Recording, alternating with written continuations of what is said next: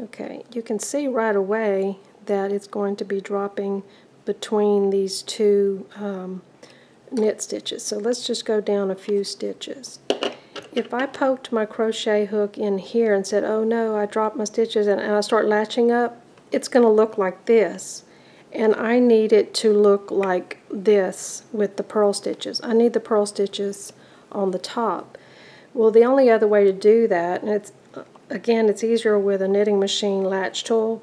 The only way to reform them in the other direction is to come underneath, but that's really hard to crochet like that. Really hard. So if you can't do it like this, see I can't even do it, you're going to have to somehow get this loop to the other side of your your little loop here and you're going to come from you're not going to poke through you're going to come from underneath like this. Yay for Yarn has a good video on how to do this and she makes it look easy but I can't remember how she did it so this is the way I'm doing it. So to stop talking here I've got the loop on top and I'm going to poke my needle from underneath grab that loop and pull that through so now this this one needs to be on the other side and sometimes it's easier instead of trying to pull it through with the hook, hook it's easier just to just grab it and pull it over. This is a little more tedious than making your rib stitches, but if you drop a stitch, this is how you would fix it if you want it to be in stockinette.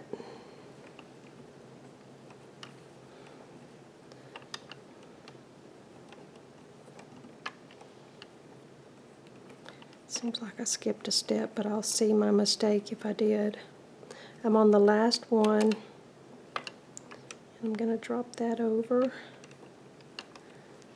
And up. It's very awkward. But you can get it done. It's not a disaster if you drop a stitch. I don't like to make any mistakes on the heel or toe because they are hard to fix when you've got all that shaping done. So now I've got all the purl stitches, all the purl bumps are back like they should be. They are a little bit stretched out here, but when I work on the next column, that'll all straighten out. So I'm going to go on to my next even needle. So let's knit the one we just fixed and drop the next one.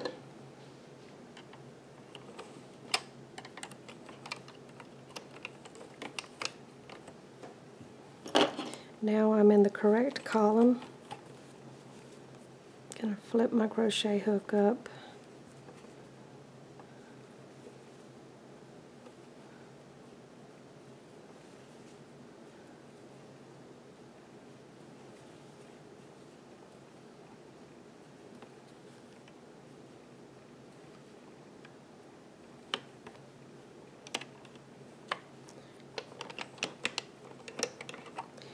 You see this is already tightened up a little bit. They were really spread out a while ago and it's now it's tightened up pretty normal. So never fear if you've dropped a stitch. I want to show you what it looks like uh, if you're going to be latching up a whole lot of rows instead of just doing a few at a time. So I'm fixing to drop number six.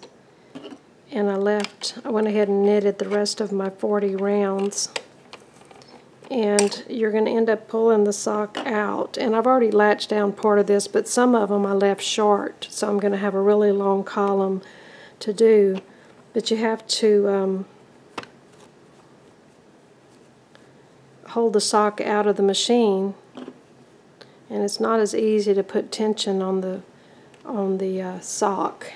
You have to kind of either reach down inside like this to get to the stitches. It's not a big deal, but you might want to try it both ways to see which way you prefer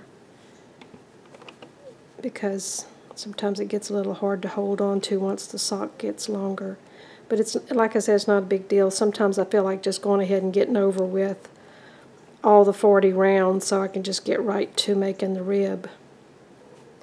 And you may not want to stop you, your flow. You may want to just go ahead and knit all 40 and then do all one thing at one time. So I do it both ways. I finished all of the ribbing for my leg of the sock and as I mentioned before this E-wrap edging on the top is going to have to be neatened up at the end. It always does. Um, at this point I'll study all sides of the leg and make sure that I didn't skip any stitches or if there any strange bumps sticking out because now is the time to fix this before you start the heel. And um, if you find a mistake after you've started the heel it's going to be a little harder to fix. So I'm going to knit a few rounds of waste yarn which is going to serve two purposes. It's going to um, give me a lifeline in case I mess up on the heel later which I've done frequently if you don't like the way the heel looks, you can always take it off of the machine and rip back all the way to the waste yarn and rehang your stitches. Um, so not only are we going to use those waste yarn stitches to help us uh, shape the heel, we're also going to use it as a lifeline. So let's get to that now. Okay, I'm using Vanna's Choice yarn. It's a number four. It's a little bit smaller uh, gauge than this yarn, but it'll work fine. Sometimes the stitches will sink in a little if you don't use the same size yarn. But I needed something really high contrast, easy to see, and also not a bumpy yarn. So what I'm going to do now is take my main yarn out of the yarn guide. I'm not going to cut it because I'm going to be picking this back up a little later to start knitting with it. If you wanted your heel and toe to be a different color, at this point you would cut uh, your main yarn and leave a, a, good sized tail to weave in and um, then you would um, put your new color in, knit with it, and um, and then do all the other steps and change colors as you need to, but I'm going to do a solid colored sock. I'm going to show a mistake I just caught. I had finished um, knitting and reforming my last even stitch here, but I did not finish knitting all the way to the end of the row. I looked down and I saw that I still had a few white needles left, so I need to finish knitting this completely. So I'm putting my main yarn back into the yarn guide and I'm going to finish knitting these last three needles until my black needle is back up again. Now I'm going to unthread my main yarn and I can either just drape it over the back. Sometimes I'll just hang it on my tripod up here to get it out of the way. It's just going to hang out there for a while. And then I'm going to take my waste yarn thread it into the carriage between these two needles. This needle is going to knit the main yarn and this one is going to start the waste yarn so right at first, just kind of hold on to everything and make sure those stitches grab that waste yarn. I like to do quite a few rounds of waste yarn. I don't like it unraveling on me whenever I'm trying to uh, rehang everything. Another thing I do is sometimes I'll, when I get ready to cast off the waste yarn, I'll go ahead and run my tapestry needle through all the loops to lock them in. It makes it a little slower to unravel later, but at least you're not having the headache of everything coming unraveled on you. So I'm going to knit a few rounds in this blue yarn. I'm going to go ahead and take this off on a tapestry needle. So I've, I've done enough rounds for my um, for my waste yarn. I'm going to leave a good sized tail and cut it. Don't cut your main yarn if you're going to go onto a solid colored sock. Put your tapestry needle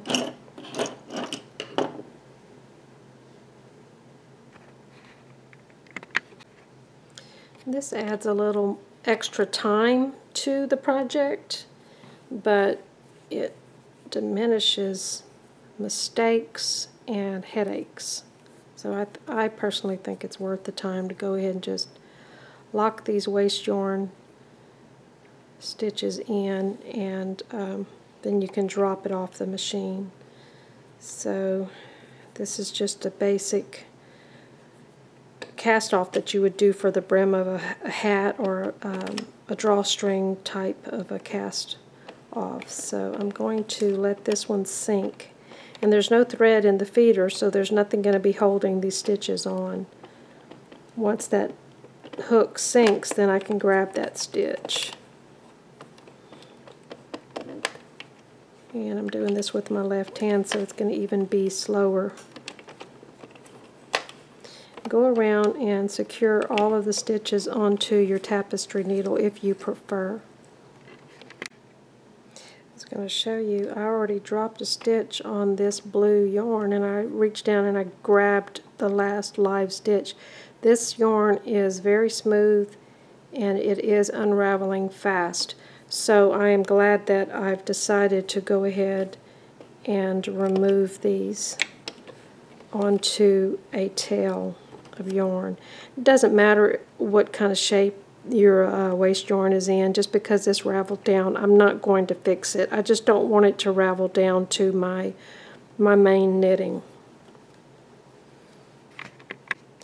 Okay, I've dropped everything off, so I'm just going to pull it back up and pull my um, waste yarn through and take my needle, my tapestry needle off. So that's all secure. It's not going to unravel anymore. And I can, uh, I can draw it up if I want to or loosen it up. So this is the way it's going to go back on the machine just like it came off. And we're going to pretend like the waste yarn is not there. Before we go any further, I want to show how um, I calculated for the heel. I mentioned before that this heel I used 15 stitches to go around the top of the heel.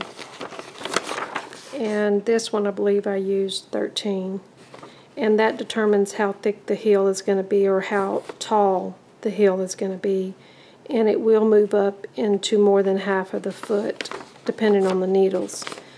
Um, the way I decided to do this is most sock patterns will tell you to reserve half of the stitches on your needles as um, the heel or the toe and so half of 22 is 11 but when you divide the 11 by 3 you get um, an arrangement like this three short rows on three short row needles on each side with five in the middle. And that's going to make a very shallow heel. Um, so I decided to do 13 I think it's a good number. And what you would do is divide 13 needles by 3 you divide it in thirds because you're going to have the middle of the heel and the two sides of the heel that form the wedge and so I ended up with four stitches with an extra left over. So I did four stitches on either side that I'm going to use for my decreases and increases and I put that extra stitch in the middle. Um, you can arrange it however you want but I think five stitches in the middle is a good number. So I'm going to use 13 needles for the heel and toe and I'm going to do short rows on the outside four stitches and leave the five stitches in the middle to um, turn that heel and um, these stitches will knit the whole time. Let's see if I can point that out on a heel. When you look at this heel, which is 15 stitches, this is the point where we stopped up here. And then for the first round, you're going to knit over to the 15th or the 13th needle, and then you're going to stop and go back. And then you're going to stop short and go back, and stop short, stop short, stop short, until you're finally left with five needles or so in the middle. So that's why this column gets longer while the rest of them get shorter. And then you start decreasing back down to the foot area of the sock, and it forms the the mirror image of the top portion of the heel. It'll make more sense once it's we start knitting it. So let's get prepared to rehang the heel stitches on the machine. Okay, let's pull this sock back up and we're making sure, I've rolled it all up so it wouldn't, won't drag at the bottom. If you let the, the length of the sock drag onto the table, sometimes um, it's so stiff it'll start lifting the uh, sock off of the needle. So I usually just kind of roll that middle up. And um, these are your purl stitches. These are knit stitches. So this is how it came off of the machine with those purl stitches kind of rolling out and looking down inside the sock. And here's my main yarn where I left off before I did the waste yarn. Now we're going to pretend like we never stitched any waste yarn. Um, we're just going to pretend like it's not there. It's only going to show us where stitches are and it's going to hold all the top of the foot until we're ready for it. So here's my main yarn. Get rid of all these tails.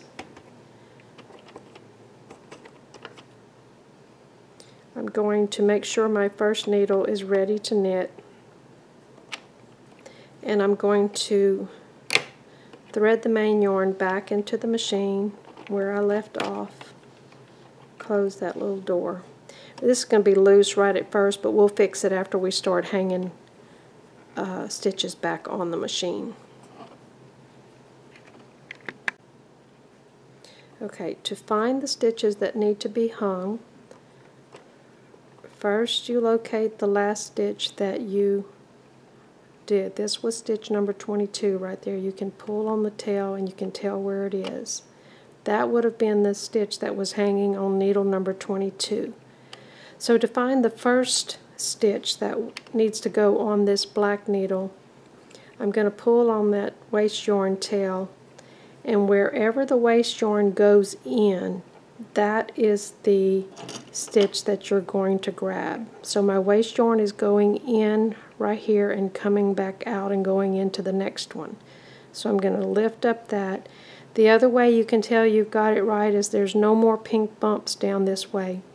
If I would have grabbed the wrong bump right here, and I'm looking at that, I see an extra bump down here. So you should be picking up the last pink bump next to the waste yarn. Let me pull that out and hang it on that needle. Push it all the way down to the base around those little teeth. I'm not worrying about this looseness right now.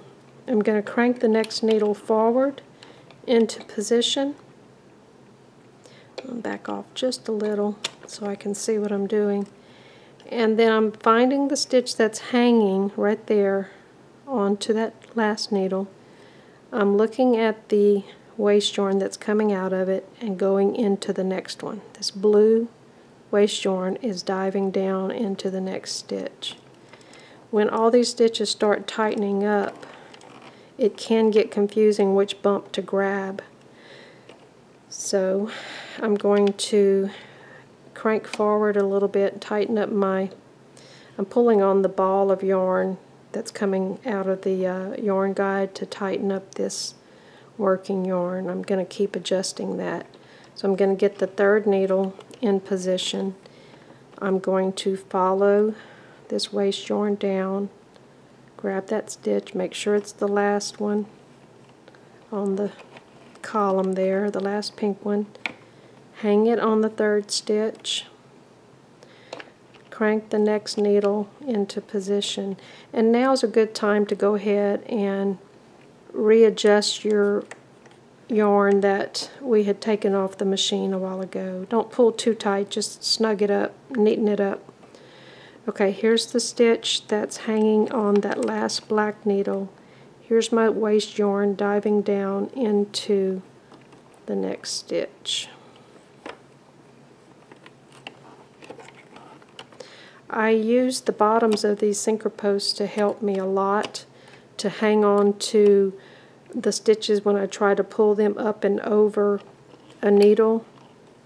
I'll show you what I'm talking about. Once I've located the next stitch here, I'll shove everything down below that sinker post and then pull just on the stitch that I'm wanting to rehang. And while I'm cranking the next needle forward, these are starting to knit. So I only want to hang 12 stitches back on the machine even though we're going to be using 13 stitches for the heel. Going to get the next needle number 6 up. Don't want to go too far. Follow, it's starting to curl on me now so I have to be really careful. I'm going to follow this, this stitch down to my waste yarn and then I'm going to see where it's sinking in. It's so easy just to want to just grab that loop right there and you would be skipping this top loop and it would start to run down and make big loops on your sock. So just just take this very slowly and make sure you're grabbing the right stitch. I tend to always go back to the stitch that's hanging, find the waste yarn, then find the stitch. No need to get in a hurry.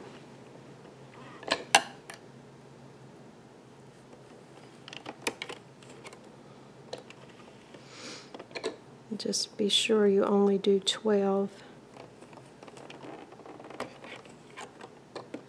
That's number 10.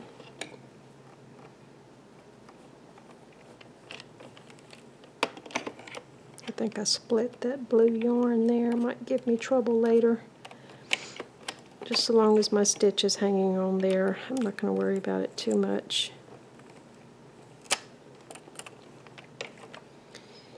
Number 11. There's my waste yarn. And see, this one is very, is exactly what I'm talking about. It's sunk so far in there that I started to grab that loop right there. But I need to pull, take my time, follow this blue stitch down, and reach in there and grab that loop that's hiding. If you get to daydreaming, you might just make a mistake. And this last needle is the number 12, and I'm going to get it in position, find the next stitch, and hang it.